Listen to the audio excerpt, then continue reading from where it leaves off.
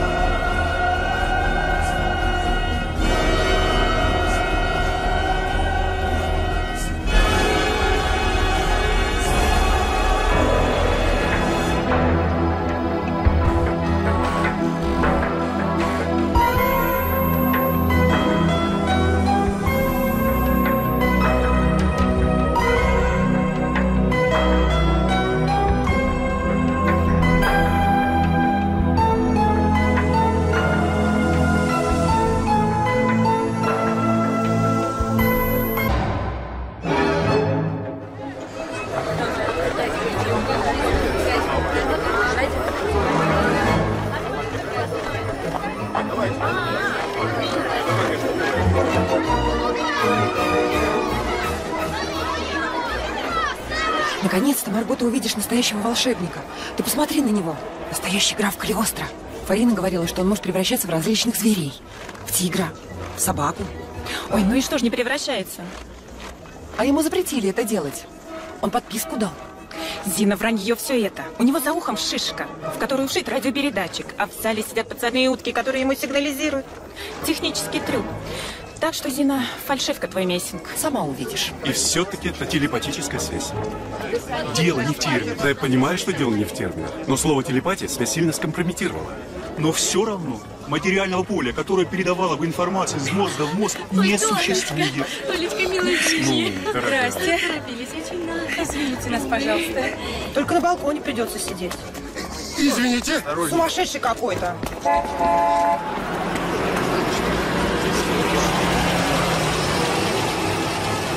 Василий Осипович, а я боялся, что вы не приедете. Прошу в мой кабинет. Смотри, Вася Сталин приехал. Точно он. И все-таки это очень тонкое шарлатанство. Как Кио. Мы ведь тоже не могли разгадать его фокусы. Помнишь, Василий? Но Кио и не скрывает, что он фокусник-иллюзионист.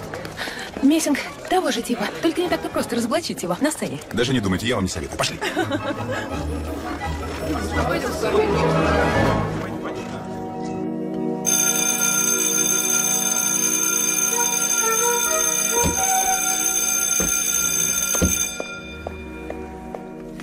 Вольф, третий звонок.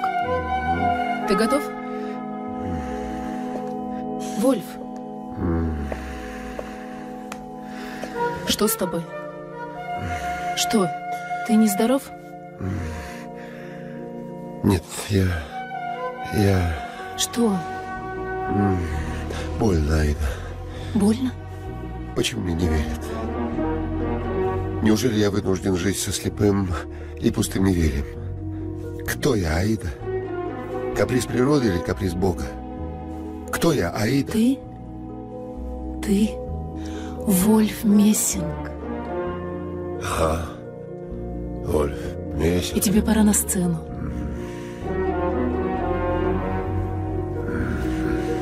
Дай на тебя посмотрю. Готов? Ну тогда я пошла объявлять.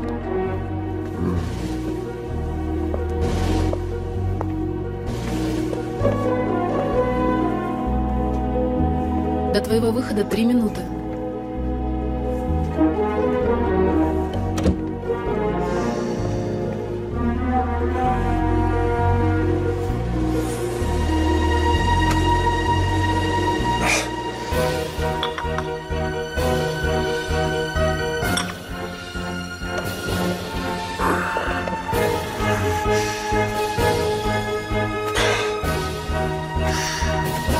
Ну что ж. На сцену. Вольф Мессинг. Конечно. Феномен Вольфа Мессинга до конца еще не объяснен наукой. Но материалистическая наука тем и отличается от религиозного мракобесия и догматизма, что она открыта для новых фактов и исследований, которые со временем, конечно же, образуют новую, законченную научную теорию. Позвольте, наконец, представить вам этого уникального, необычайного человека. Вольф Мессинг.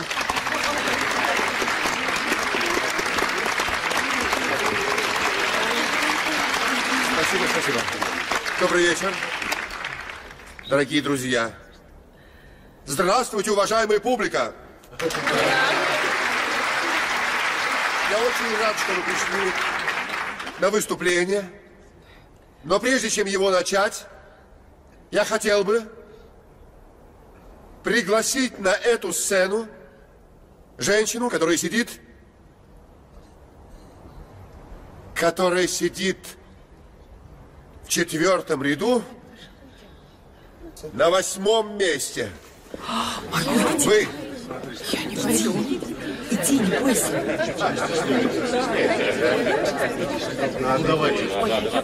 Я прошу вас. Ну что ж, вернись же. Зачем? Я вам сейчас объясню. Прошу вас. Прошу, прошу. Вот там. Проходите. Это же так интересно. Идите. Не бойтесь. Прошу вас.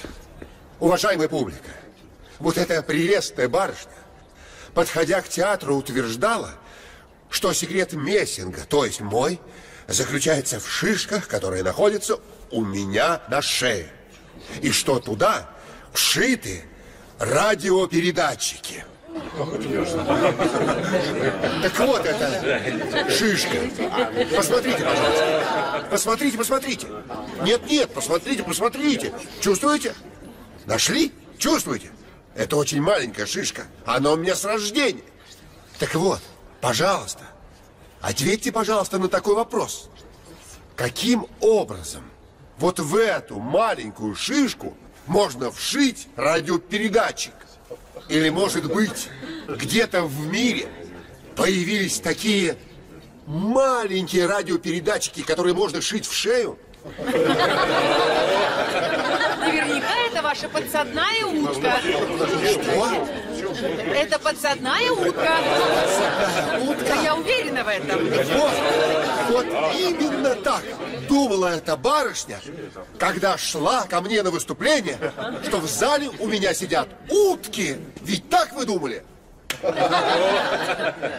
Ведь так же вы думали, так?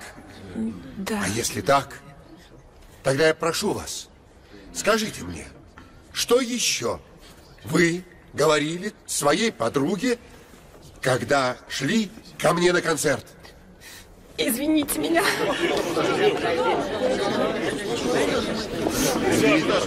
Марго! Извините. И вы извините меня, пожалуйста, уважаемая публика, но мне очень трудно работать, когда обо мне плохо думают. Еще раз. Извините меня, пожалуйста. Но без этого я не мог начать сегодняшнее выступление.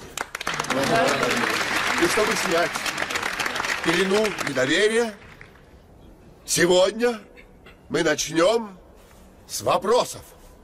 Прошу вопросы. Есть? Желающие есть? Вы, пожалуйста. Скажите, пожалуйста, а вы действительно умеете превращаться в зверя? Что? Что за чушь? Ерунда, неправда Как в голову такое приходит? Хорошо же обо мне думают. Еще. Простите, так вы иллюзионист или фокусник? Не то и не другое. Позвольте. Позвольте, это правда, что вы умеете предсказывать будущее? Будущее? А, будущее. Да нет, я же не бог. Я...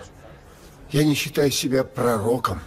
Да, иногда я могу заглянуть в будущее. Я от него как Я хочу предупредить всех. Это очень, очень небезопасно заглядывать в будущее. Прошу вопрос. А спроси у него, кто в Свердловске в хоккей выиграет?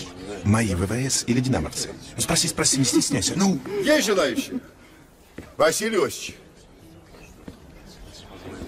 Мы же с вами лично знакомы. Почему бы вам самому не задать вопрос? Прошу прощения, Вольф Григорьевич. Хороший у вас слух. Это же Василий Сталин! Василий Сталин! Слух у меня абсолютный. Повторите вопрос, чтобы его услышали все зрители. Угу. Значит, в начале января в Свердловске будет игра на чемпионат СССР по хоккею. Кто выиграет? Мои ВВС или динамовцы? А? Конечно же, ВВС! Уральцы тоже неплохо играют. А, да мы расстрелой. Посмотрим.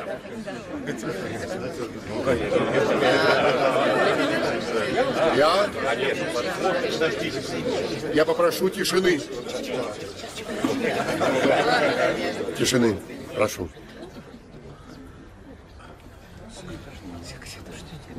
Я попробую, Василий Осич. Попробуйте. Угу. Да, да. Интересно. Я наблюдаю. Покупай в китайских интернет-магазинах с экономией до 30%. Кэшбэк-сервис letyshops.ru. Более двух миллионов пользователей уже экономят с нами. Присоединяйтесь. Ссылка в описании.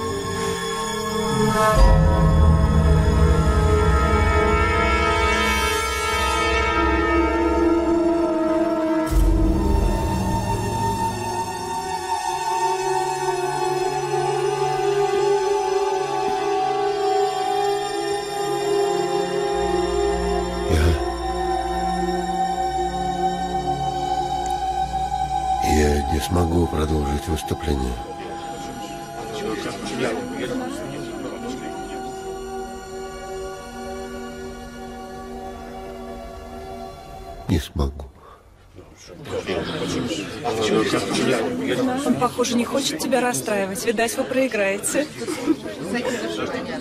Не могут мои ребята проиграть. Ясно? Не могут. То, что это и правда. Что случилось?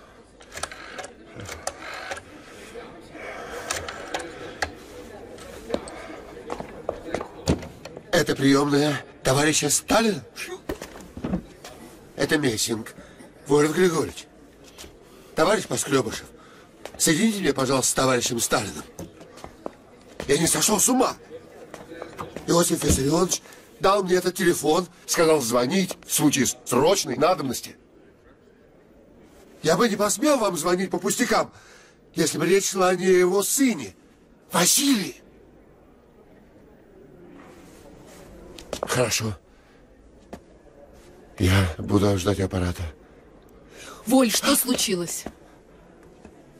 Случится. Там зрители ждут.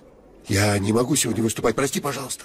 Как? А, а что мне делать? Я не знаю, Ирочка, пожалуйста, придумай что-нибудь, родная, придумай. Ну, конечно. Ведь речь идет о сыне самого товарища Сталина. Аида? Аида! Я не ожидала от тебя. Аида, что ты говоришь? Да? Да.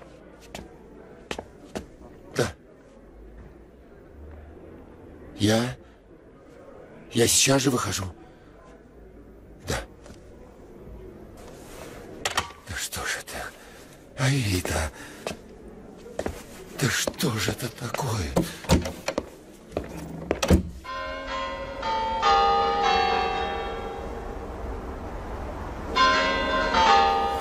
Разрешите? Здравствуйте, товарищ Мещенко. Здравствуйте, товарищ Сталин. Здравствуйте. Здравствуйте, Иосиф Виссарионович. Как здоровье Аиды Михайловны? Спасибо. Хорошо. Что же такое произошло, что вы через столько лет первый раз позвонили? Не произошло. Но может произойти. Иосиф Виссарионович, у меня на выступлении сегодня было видение. Я видел, как самолет, в котором летел ваш сын, Василий Иосифович, с хоккейной командой в Свердловск. Я не могу вам сказать причину, но я видел, как самолет падает и, и разбивается. Будет катастрофа. Погибнут все. И он. Присаживайтесь. А? А, да-да. Вы уверены в том, что говорите? Уверен, товарищ Сталин. Да, Иосиф Виссарионович. Сидите, Иван а? Григорьевич, идите, пожалуйста. Значит, если он поедет в Свердловск поездом, он будет жив. Да, он будет жив. А остальные? Что же остальным спортсменам делать? А? Значит, остальные полетят на самолете и погибнут? И просто мне судьба остальных спортсменов неизвестна просто. Вам неизвестно? Да. Как же такое может быть? Нет, нет, Иосиф Виссарионович. Я думал только о вашем сыне. Но рейс самолета, конечно, нужно отменить. Пожалуйста. Конечно, Вольф Григорьевич, конечно.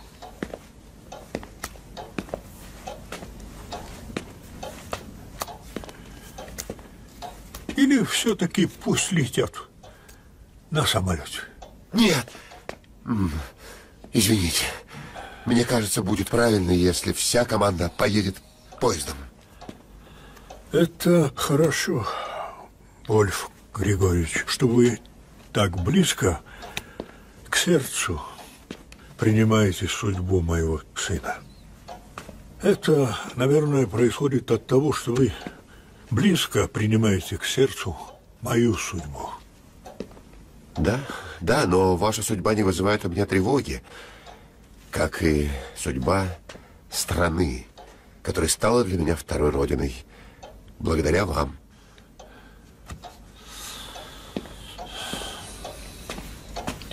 А как вы устроились на новом месте, а? Вольф Григорьевич? А, хорошо. Хорошо? Да. Ну и хорошо. Звоните. А... Не волнуйтесь, Вольф Григорьевич. Но... Катастрофы не будет. Благодарю. До свидания. Спасибо.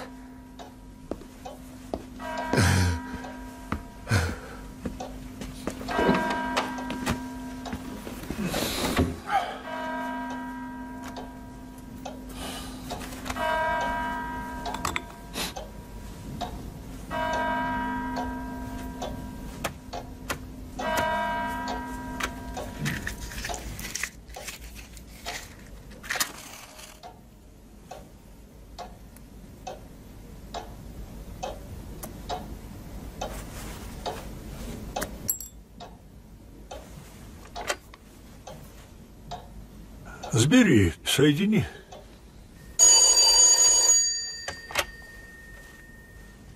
Да, слушаю, Иосиф Виссарионович. Послушай, Лаврентий Павлович, был у меня сейчас твой Мещенко. Не забыл еще, товарища Мещенко? Хотел бы забыть, да не получается. А что, он опять что-то напророчил? Да, он сказал, чтобы Василий не летел в Свердловск самолетом. Говорит, беда будет, катастрофа. Ты позаботься, чтобы Василий не летел с самолетом Пусть едет поездом. Хорошо, Иосиф Виссарионович. А как быть с остальными? А остальные... А ты как думаешь? Ну, я даже не знаю, Иосиф Виссарионович. Не знаешь? Ты мне говорил, что э, Мессинг нас дурачит, что ты ему не доверяешь. А я и сейчас ему не верю. Вот мы еще раз проверим его, чтобы у тебя сомнений не было. Хорошо, товарищ Сталин. Так что, пусть летят? М, Ну, пусть летят. Хорошо. Правильно понимаешь. Правильно.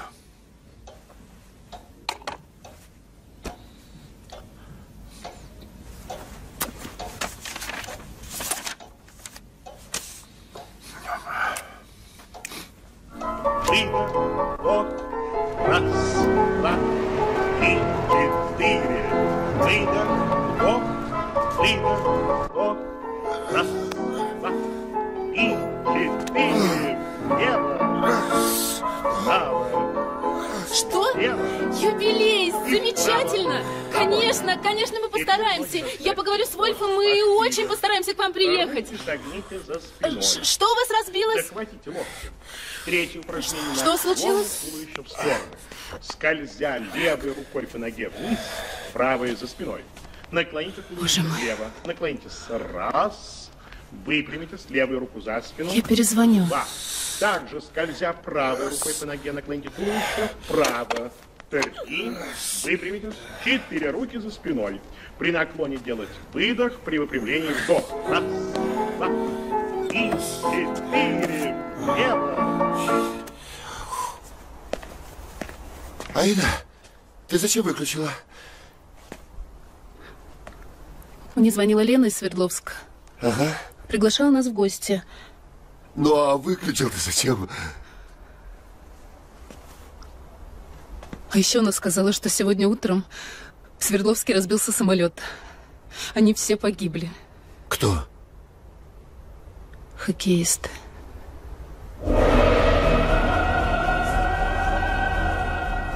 Он меня обманул?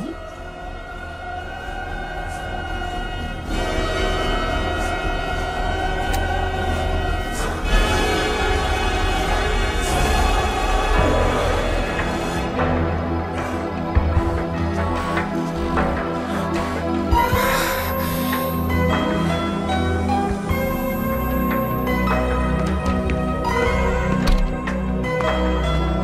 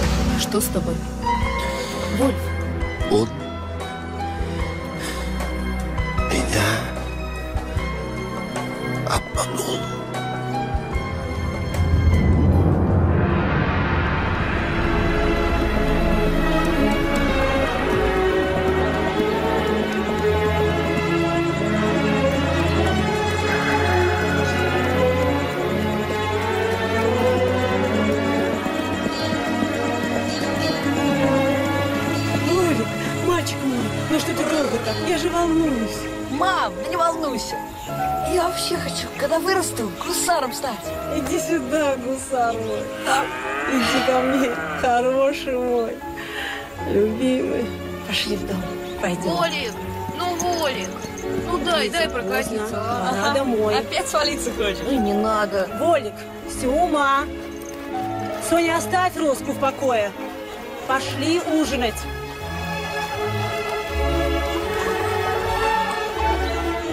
Слава Богу. Вот и еще один день пережили. будем сегодня? Будем, будем. Сейчас молочка попьем. На, Бетенька, ты любишь теплое. А потом и картошку. Пейте, мои хорошие, пейте. Спасибо, Русски, кормилице нашей. Фу, мам, я не люблю парное молоко. Сема, не дури. Оно полезное. Для здоровья. Волик, дай ему хлеба.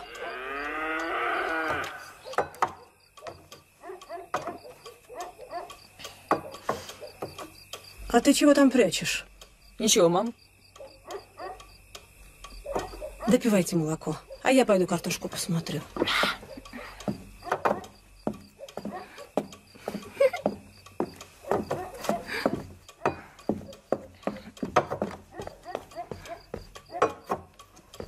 Опять пошел свою роску кормить. Ешь, Роска, ешь.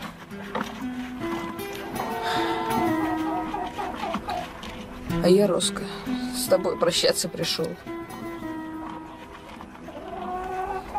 Жалко, Роска, что ты скоро умрешь. Как жалко.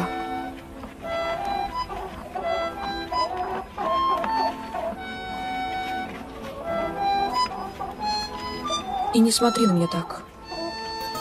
Я ничем не могу тебе помочь. Мне будет грустно без тебя. Чего это ты тут бормочешь? Чего это тебе грустно будет? А ну-ка быстро спать.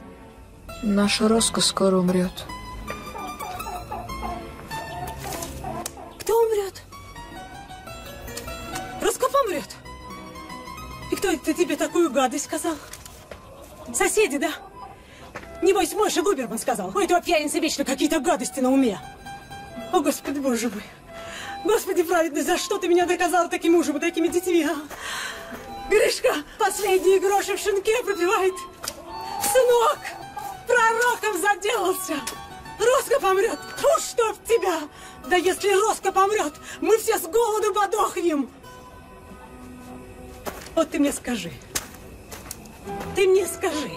Вот что ты... Что ты предсказывать вздумал? Что ж ты предсказывать вздумал, сволочи кусок, а? Что ж тебе в твою башку всякая гадость лезет, а? Нет, это не Роско помрет. Это я скоро помру. Помру и заберет меня Боженька к себе. И избавит меня от этих мук. От нищеты, от этой. От мужа пьяницы и детей дураков. Пошли спать быстро. Пошли спать. Прощай, Роза.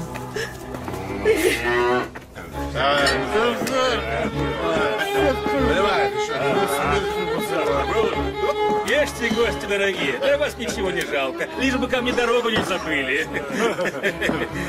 Ну что, Гриш? А? Не прошу. А, руку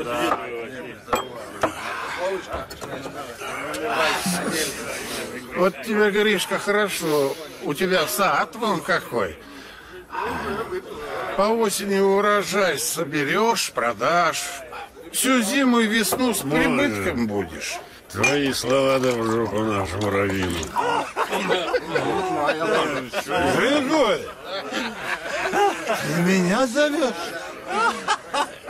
Иди сюда, Рэбе. Садись с нами. Сел. А что дальше? Рэбе, выпьем за твое здоровье. По рыбе, чтобы все было хорошо. Давай вы, ты ж не пролей. Вот ты говоришь продать урожай. Есть выбрали корова. Давно бы с голоду померли. А у кого коровы нет? На что завтра жить? Моня, А? ты, Моня, г- горилку не пей.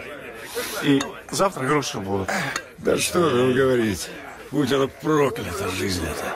А я ведь только от поляков, русских и слышу, что мы, мол, во всем виноваты. Не видно. Евреи. Господи, ну почему ты родил меня евреем? А если бы вот тебе сделал негром? Негром хочешь, будешь негром. Согласен? Будешь негром. Да хоть китайцем. Хоть папуасом. Ой, четверо голодных ртов жрать просят. Всех обуть одеть надо. Змавит скоро. Младшенький. До скрипки доучиться играть хочет. И не надо, не надо. Вполне хорошо синюю плавали. Правильно, мой? Не говори так. Господь, Он нас не оставит. Будет день, и будет пища.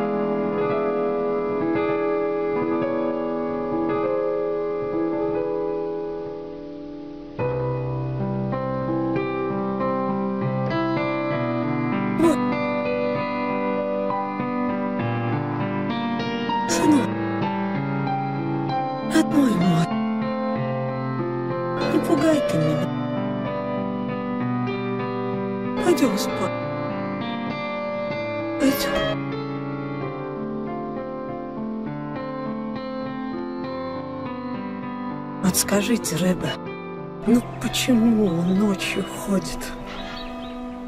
Стоит, руки к луне тянет, будто молится. Страшно, Рэбе. Ну и что здесь страшного? Ну, манера у них такая, Сара, по ночам ходить. Луна их притягивает. Кого это их? Лунатиков. Да ты не пугайся, Сара. Среди евреев лунатики не новость. А мне-то, мне-то что с ним делать? А ты у него утром спрашивал, что он ночью делал? Спрашивала. И что? Он ничего не помнит. И очень хорошо. И ты ему не напоминай. Садись. Спасибо. Это тебе, Рэбе. С огорода. И почаще приходи в синагогу. Так, что же мне с сыном-то делать?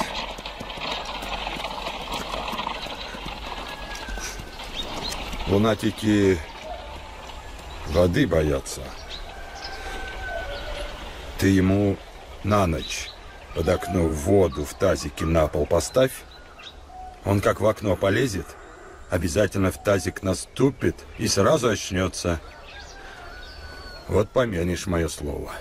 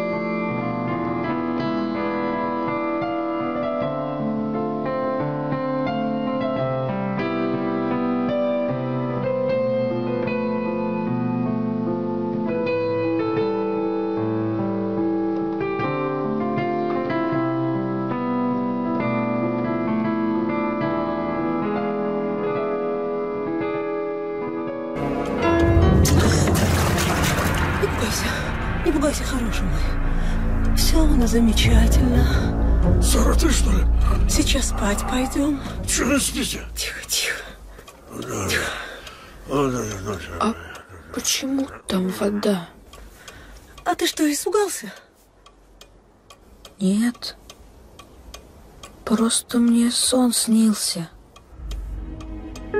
А как попал в воду, сон сразу исчез. А что тебе снилось? Снилось, что я в поезде еду. Потом город большой снился. И я в этом городе. И очень есть хочется. Да вот глупости какие. Да разве ж мы собираемся ехать куда-нибудь? Не собираемся мы никуда уезжать. Пойдем спать. Пойдем, хороший мой. Пойдем, золото мое. И сны тебе будут сниться только хорошие. Пойдем.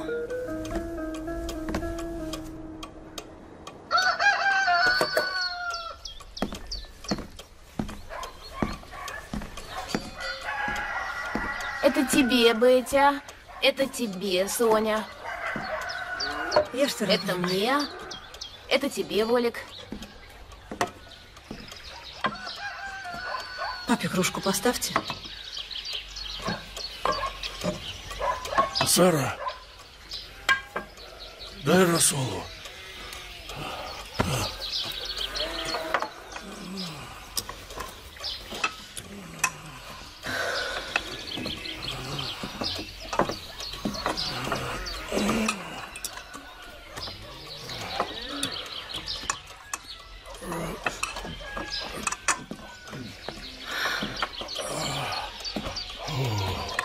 Ешьте, любимый.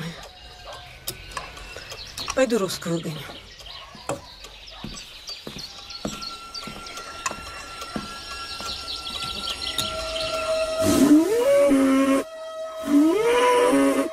Роза, красавица.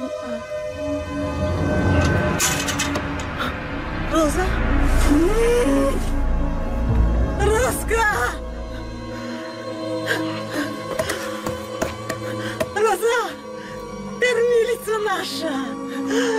Розочка! Что ж теперь будет? Господи! Гриша! Гриша, горе-то какое! Роска! Чё режь-то? Роска померла! Как же так, Лена?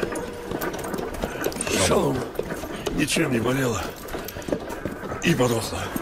Раз подохла, значит, чем-то болела. У Бога просто так никто не подыхает. Ох, Рэбе. А Волик еще вчера мне сказал. Роска наша помрет. Ну, как вам это нравится? Мне это совсем не нравится. Почему он так сказал? А вы сами его спросите. Такое с ним не в первый раз. Что не в первый раз? Предсказывает. Предсказывает?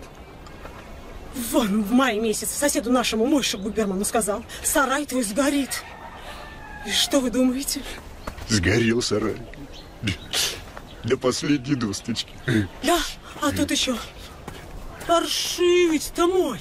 Меня спрашивает, мам, а на медведей собачек послушных смотреть пойдем? Я думала, умом тронулся. Так через неделю цирк приехал. Вот. А ты Талмуд детям читаешь? Читаю. Что-то я тебя, Сара, давно не видел в синагоге с детьми. Да ходим мы, ходим. Не дайте мне с этого места ходим. Но я тебя не видел, Сара. Скажите, Ребе, Волик хороший мальчик, добрый, умный. Ну что нам делать с его бедой, Ребе? Ну хорошо, Григорий. А? Сара, ступайте Идите. домой. Пошли. Волик, сиди. Я с Воликом поговорю. Сиди, Волик. До свидания, Рэбе. До свидания. До свидания. Не обижайтесь.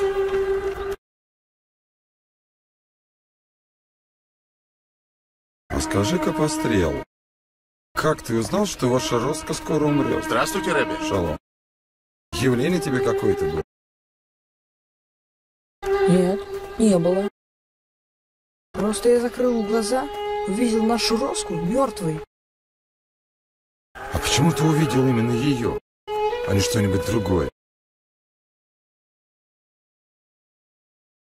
Не знаю. Я всегда про нее думал. Я очень любил нашу Роску. Здравствуйте, Ребе. Шалом. Да.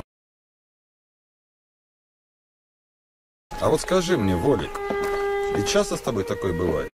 Ну, часто ты видишь будущее? Ну, не знаю. Вот помните Изи Чертака? Все тогда думали, что он в реке утонул. А я увидел его на базаре в Варшаве. А там картошкой торговал. Шалом, Рэбе. Шалом. Приходите вечером в Шино. Угу. Ну, так что же, Изя? Я же тогда говорил всем, что он живой. Так все надо мной смеяться стали. А он сам вон на Новый год вернул. Помните, Рэбе? Помню, помню. Изю помню. А вот скажи, ты разве бывал на базаре в Варшаве? Нет, не был. Так как ты мог увидеть то, что никогда не видел? Как ты узнал, что это Варшава? Не знаю. Знаешь, и я не знаю. Присядем.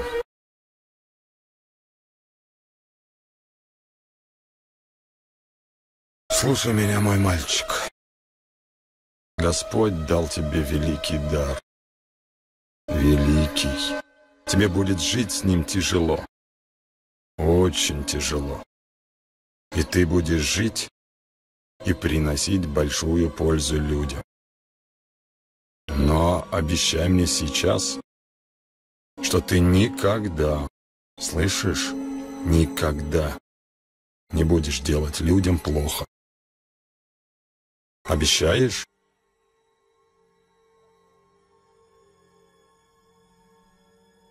Обещаю. Хорошо.